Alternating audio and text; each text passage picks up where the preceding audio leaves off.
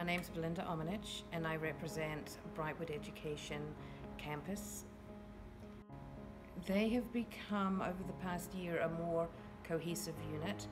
We have students whose first language is Spanish and their English was very limited at the beginning of the year to seeing these children communicate well in both languages proud of their growth as, as students, as players, as community members.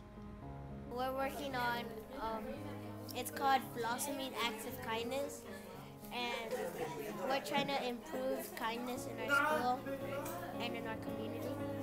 And we're trying to, like, not make students, but show them that um, showing acts of kindness can make someone's day, even by saying thank you to the lunch lady after they serve their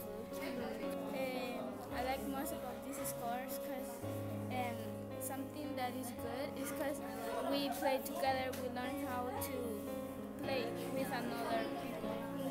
Um, I like um, that when we do writing, the, our coaches or um, teachers tell us how to be kind, how to do the right stuff, the right thing.